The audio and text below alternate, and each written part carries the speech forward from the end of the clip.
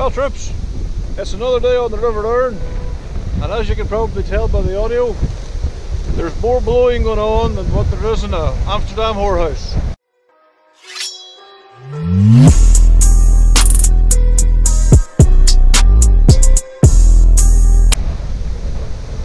It's just a bit windy. I'm having to fish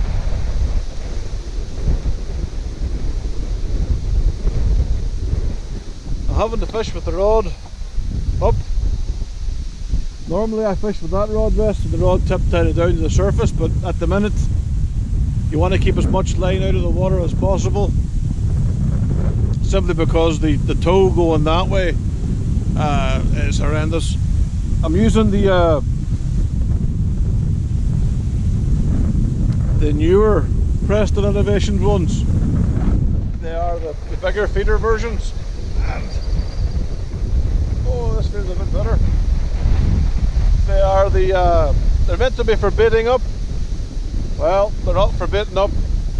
I'm using these to feed aggressively. I'm using the, uh, the biggest one that I could buy in the shop at the minute.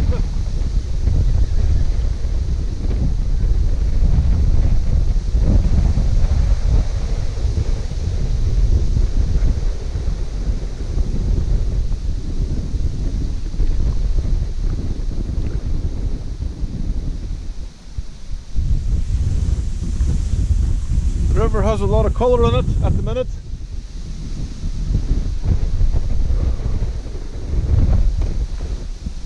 Oh, mainly because we had a monsoon yesterday.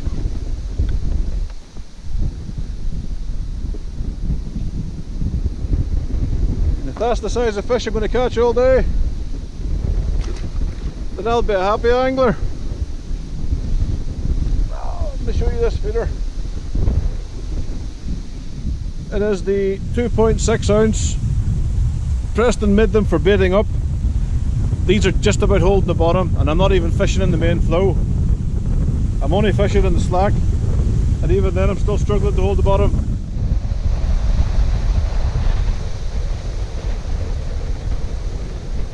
So that's fish number three.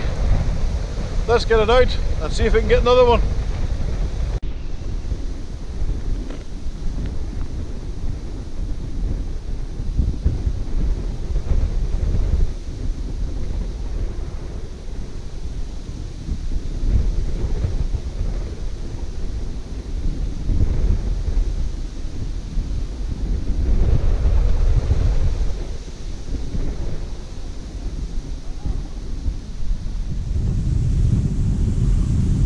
bit windy.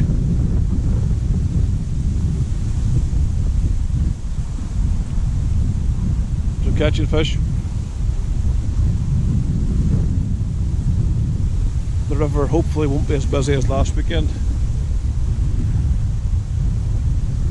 Where I had to kind of re-spool shock leaders and everything because some arsehole cut too close to the bank. I swear I could have I could have poked them in the eye with the end of the rod. That's how close the boat was to the bank.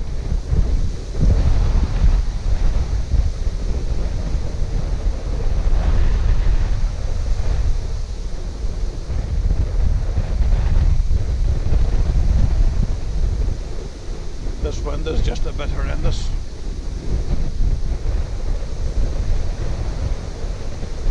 Struggling to even enjoy my cigar. because the river's pulling through, your tip will be bent over. It'll be arced over like that there.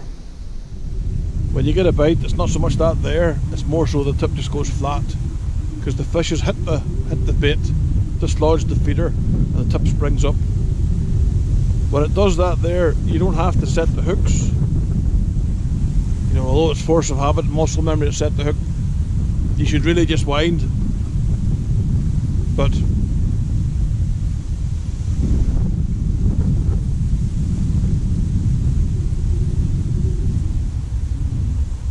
a bit like this. Mm, missed it.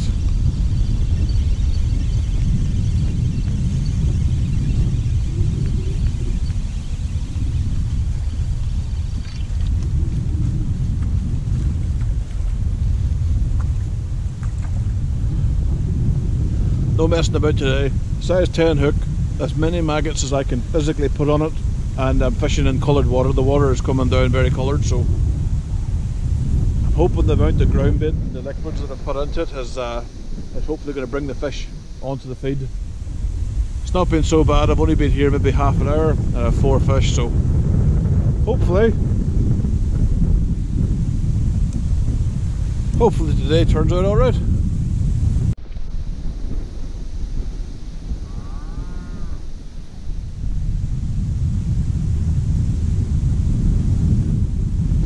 Catching bream, baby. Oh. They're good fun in the flow. Once they turn sideways on, there's not an awful lot you can do but hit and hold.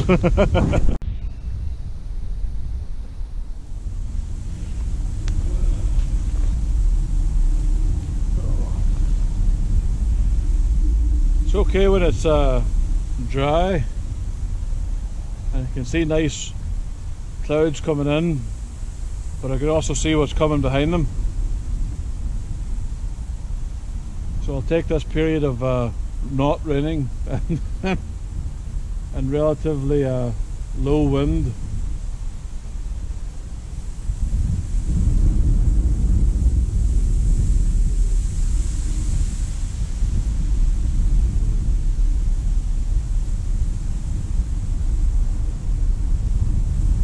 looking forward to next Saturday. Next Saturday, it's a private lake. The guy's going to pre-bait it for us. There we go, that's a bit better. So, looking forward to that. Might catch some decent bream, might catch some nice tench.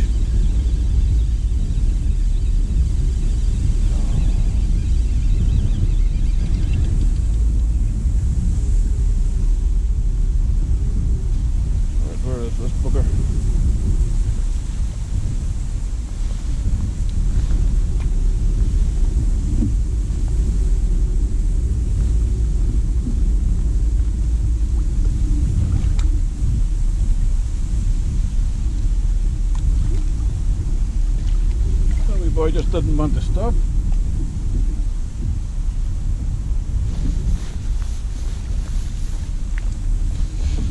Wait, fuck wasp.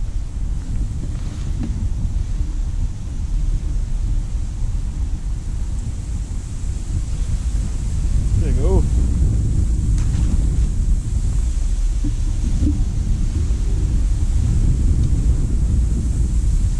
many maggots as physically I could fit on a size 10 hook. So let's get some more on and get it back out there.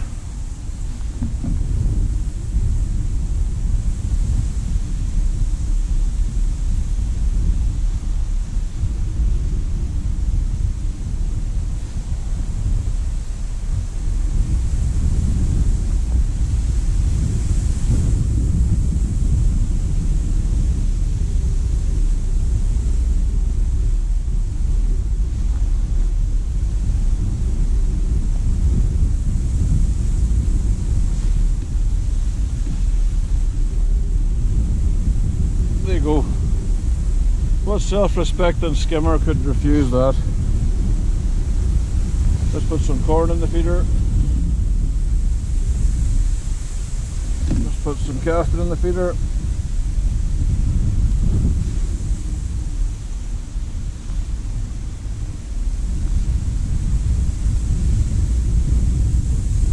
All push down into the ice and put it into the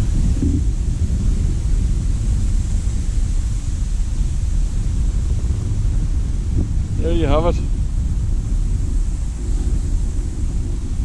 Unfortunately, it's uh, it's a big 75 gram feeder just to hold the bottom, but you gotta do what you gotta do.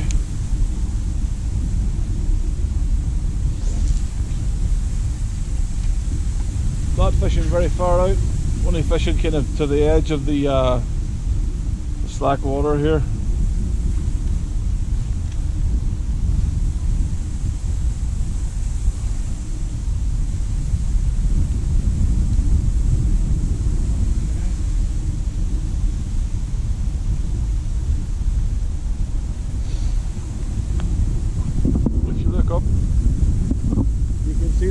Comes around, comes around, there's a little island in front of you there. There's like a white post, and there's a little island where the river breaks off into two bits. Two bits go around a place called Cleenish Island. Well, it kind of the river comes around, so the, the faster water in this part of the river is on the far side.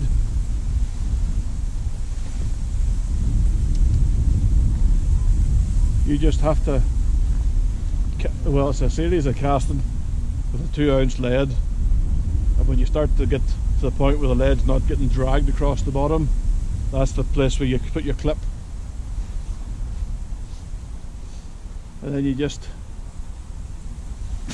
sit and wait. Unfortunately, it's not the uh, fastest game in the world, but okay. Now we're going to get rained on again here.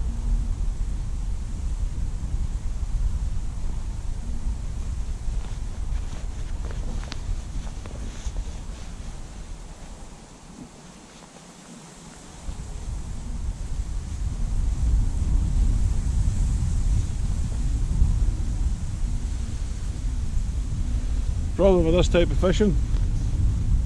You get a wild creak in your neck after the whole day because you're sitting looking up at the sky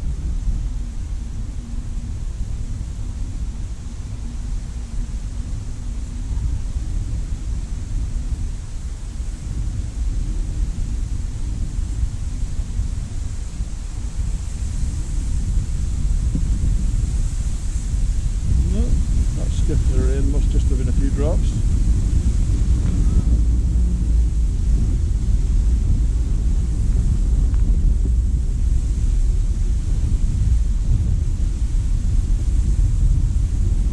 like I've said earlier, the rod tip, again I'm not sure how much of this you're going to catch. You can even see in the rod tip.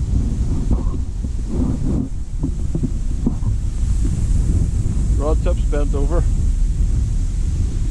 When it springs like that there, it means that the fish has hit the maggots and it's moved the feeder. Or it means that the big lump of grass or something that's been floating down the river smashed you up.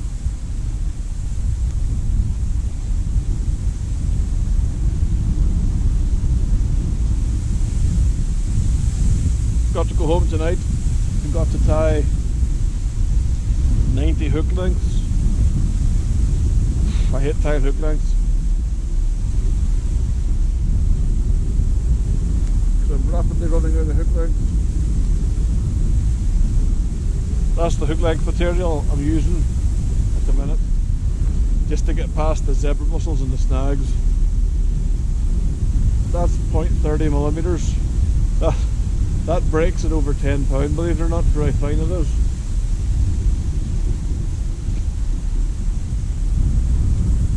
And I had a boo-boo with my worm chopping scissors. The friggin' wind blew them off the side of the table and into the fucking river.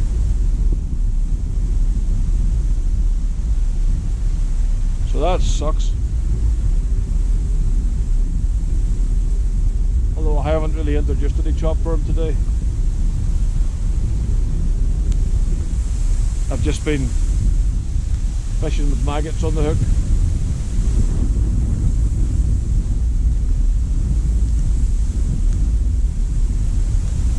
Right there I'm I'm definitely feeling rain again here.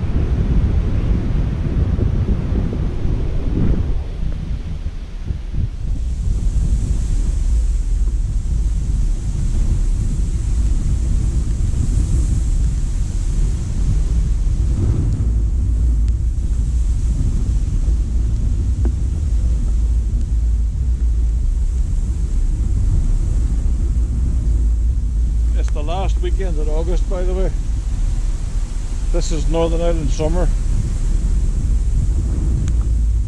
It just means that the rain gets a bit warmer.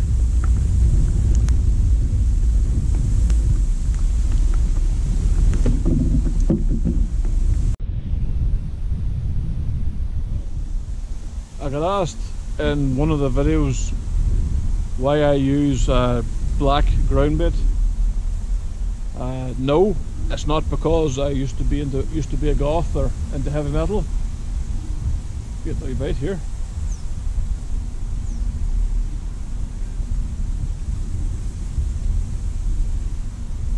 When you buy a ground bait that says like uh, like Sonubaits Black Bream, it's not black like pitch black. It is like a grey colour. When you mix it, it goes into like that sort of colour. Now, on the bottom of the river, or the bottom of the loch, that kind of blends in. So the fish get comfortable feeding over the top of it, and they don't have to think about it. There is times where reds and yellows for ground baits work, and I have used reds and yellows before but I'm fishing in a relatively shallow part of the river and yes it has a bit of colour but I find that the darker the ground bait on this section of the river and most of the Erne tends to work a bit better now that works on the Erne but I could go to another place that I know that I fish that's landlocked from the Erne and you'll waste your time throwing ground bait in. It just doesn't seem to do anything. Doesn't seem to attract fish.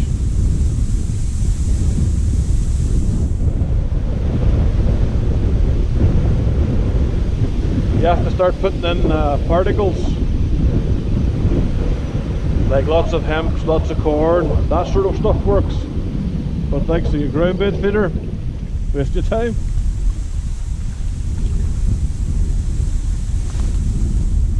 Well, hey, come on, you.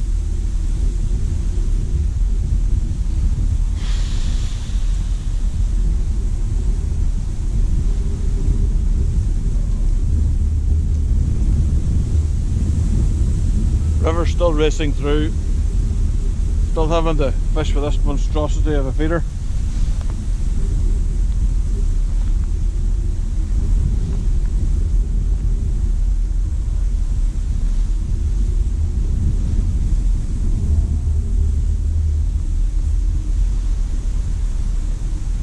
putting in corn and caster into the feeder and then you just pack it down tight with ground bait just the just the crumb just to kind of seal it in there.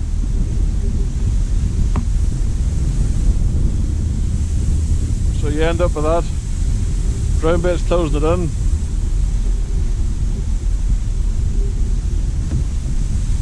And it's ready to go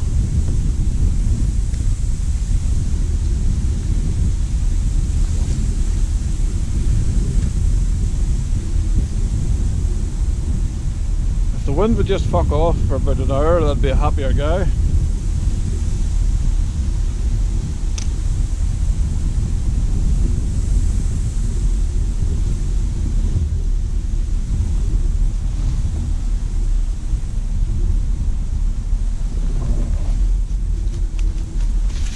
But that's why I used arc ground bait.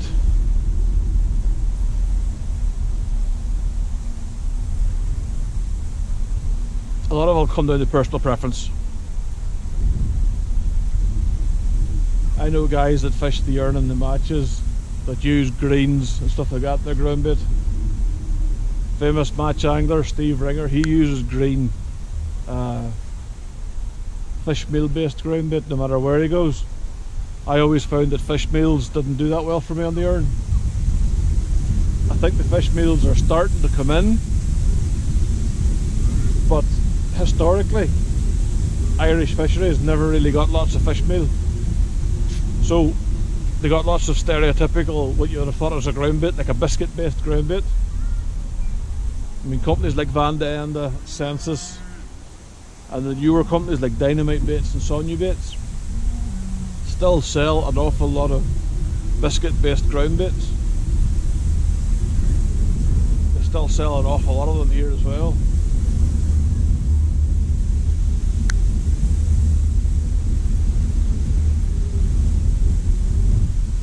Again it all comes down to your personal preference. What makes you what makes you more confident when you're fishing?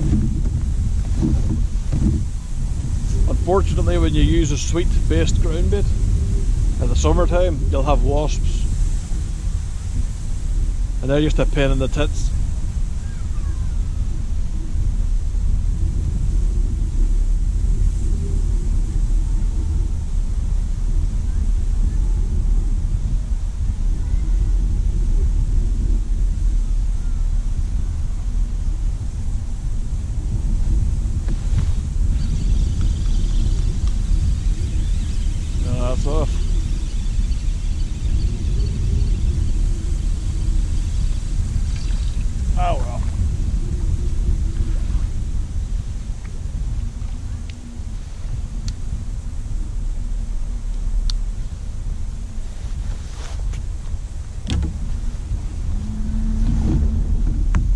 the good thing about these Preston window feeders, you don't have to constantly chuck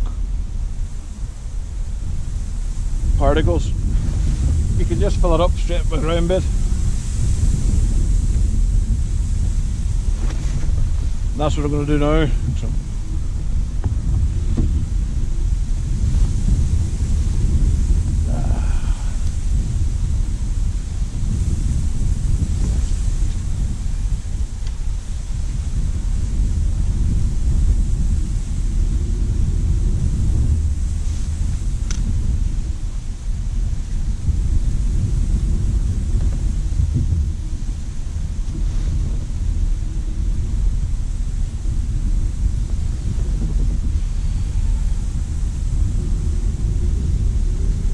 been absolutely ages since I've had to break out that there to that rod rest to fish on, on the Erne.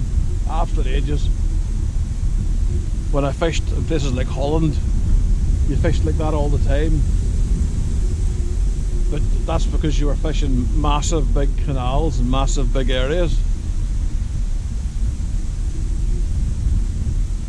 When I fished in England, parts of the Severn and uh, the Trent, I only fished the Trent a couple of times. I was based for a long time up in up in Lincolnshire and Coningsby. So the Watersham was was it the Watersham? I can't remember. But it's basically the river that runs just near enough Boston and Spalding and all those places like that. It used to be full of big bream.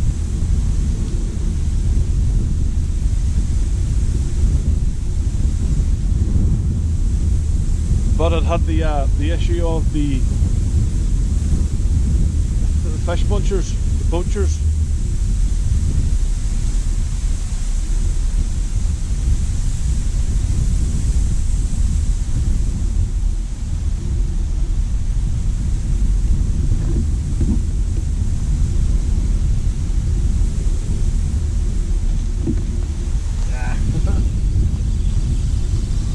I ah. missed that, how did I miss that bite?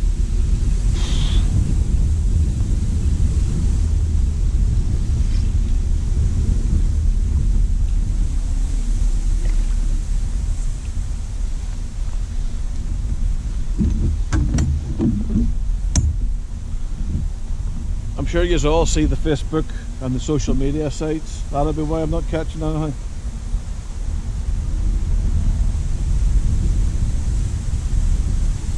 I'm sure you've all seen the Facebook pages where uh,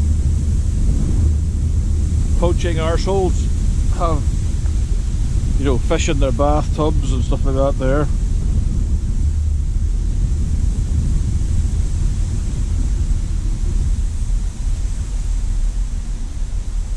I used to work with a couple of Polish guys and they fucking hated them. They hated these people. And when you kind of said to them, you know, well, they're from your country. I know that that's what you do in your country, but it's not what you do here. and the Polish guys were saying the reason it's done in Poland is like a throwback to when they were uh, ruled by the communists, like Russia. And you can understand that because they'd have been fucking starving. So you can understand anything they caught, they ate. I can understand that. But we're in a country where you can go to like a pound shop or like a Lidl or an Aldi and you can buy yourself a fucking dinner for less than a quid. You can go and buy like to a pound shop and buy, you know, sandwiches for a pound. We're not exactly, you know, living under communism. Well, not yet anyway. The Labour Party hasn't been voted in. Thankfully. That's just a joke before I get any Owen Jones types out there having a go at me.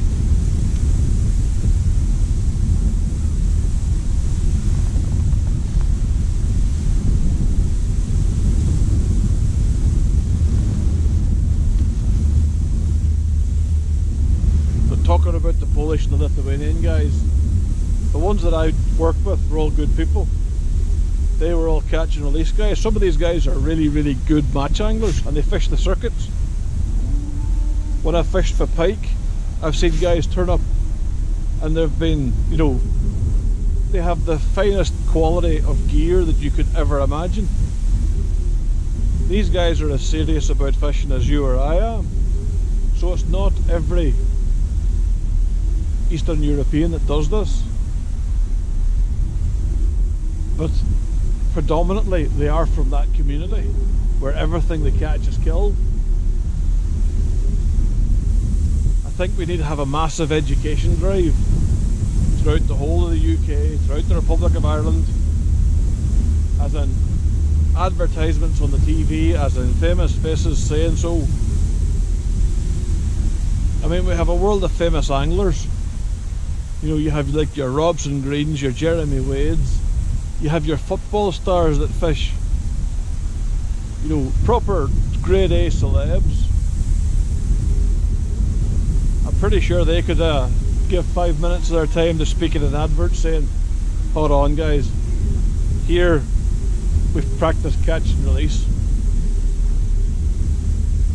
If you want to go and knock everything on the head, go and fish in a stocky trout pond.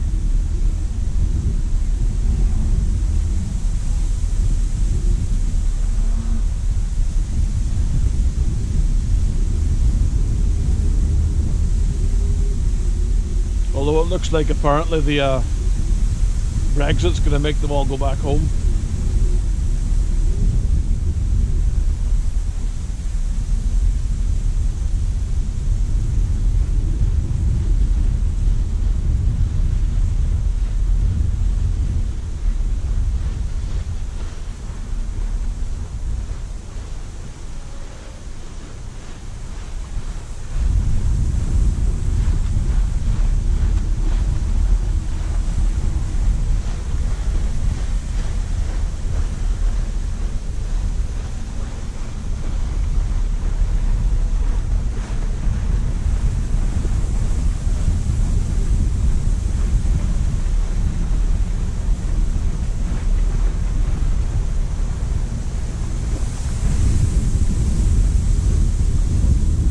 Last weekend in August 2019.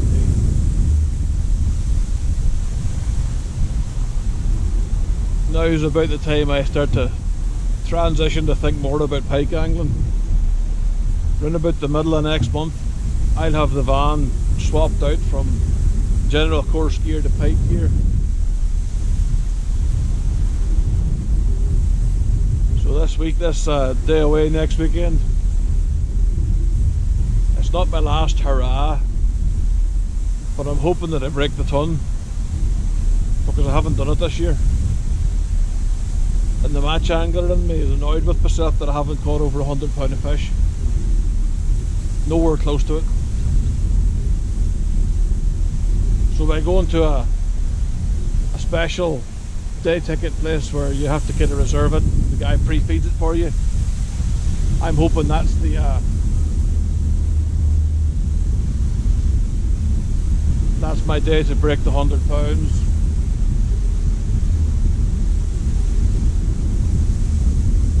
What do you see? Having said that, I'll go there and I'll blank.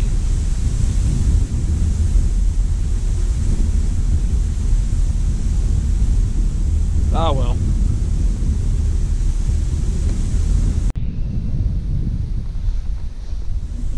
You remember last week when a boat came and smashed up my tapered leader? Well, this time it wasn't a boat. It was the zebra mussels. The the line was literally it's like somebody took sandpaper and rubbed the sandpaper over it a hundred times and on the cast it just well I went like that the cast the feeder landed somewhere in front of me and I was like okay that's the zebra mussels what they do to your line on the Erne and there's no way to beat these little fuckers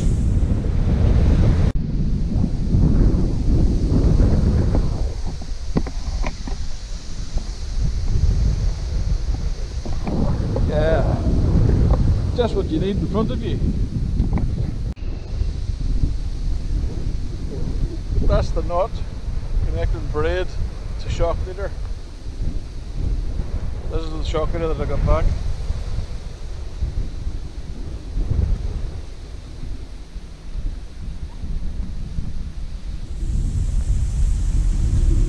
There, we're getting to the thick stuff now. We're getting to the really, really thick stuff now. We're getting to the stuff that you think, no way is a zebra mussel going to chew through that. Yeah, baby. Locker and zebra mussels aren't no joke. And if you run your fingers through that there, it is like somebody's held it down and uh, ragged it with sandpaper. And it's the whole way up it. So I reckon that's the last maybe six feet that's on the bottom. So, as with all monos, you want to take them home with you. You don't want to leave them here. You don't want to let birds get tangled up in them.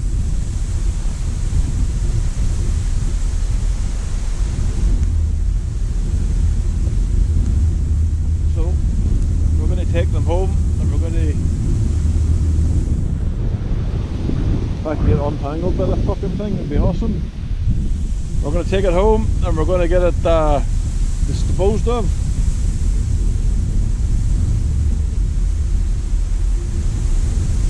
What a waste. Tapered leader destroyed. Brand new tapered leader. First day fishing with it, gone.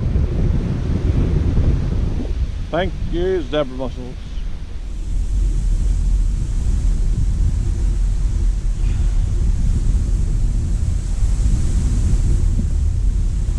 I don't think I'm going to stay much longer. I think honestly I'm going to call time on it because it's been a it's been a rough tough day.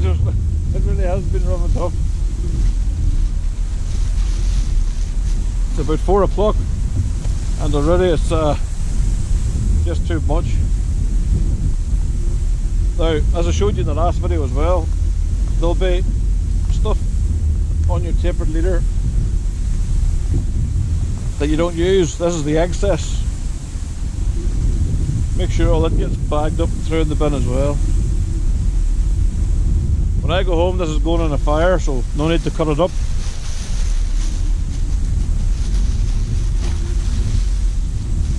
But there you go. Mono and and the remains of a caster. The world's most unlucky caster.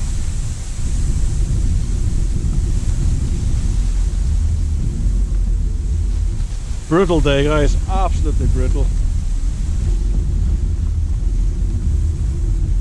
Yeah, I'm to pack up. I'm to do the what I've caught. I've only got about 13 fish today. Some decent ones, but the weather's just killed me, man. It's absolutely killed me. So I'll get cleared up. I'll show you what's in the net. We'll drive home, have a beer.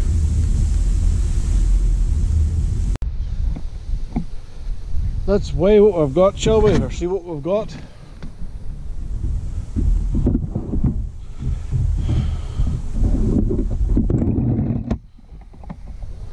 It's a bit better, now you can you can see me.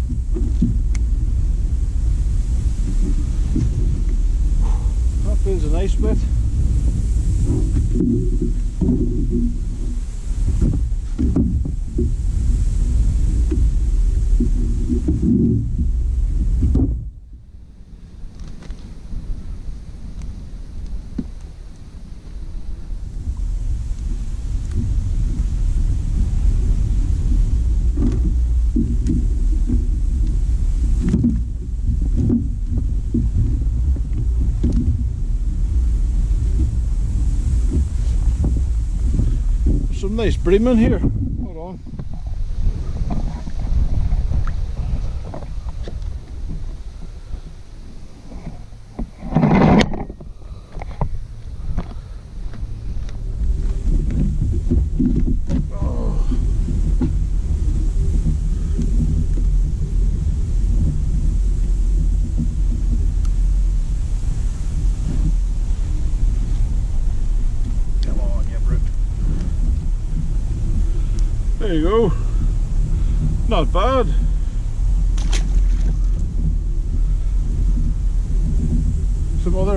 olmuş.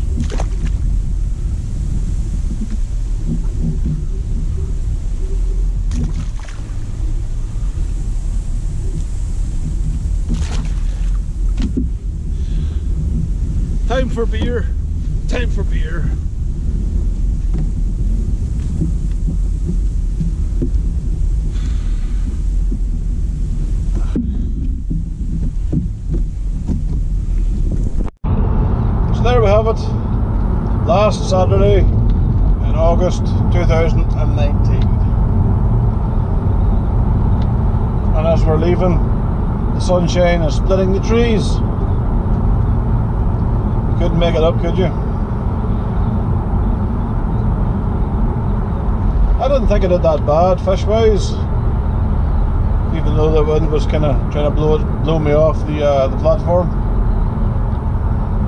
and I lost a pair of chopping scissors and I lost the arm for my uh, table umbrella thing. So I'm hoping that Preston does a a replacement or even a spare umbrella arm. Fuck.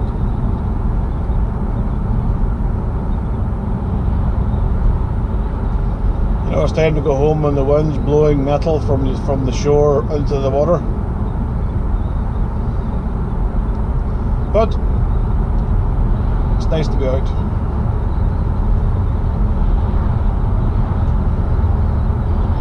I just have to drive through Enniskillen now. At 20 to 6 on a Saturday.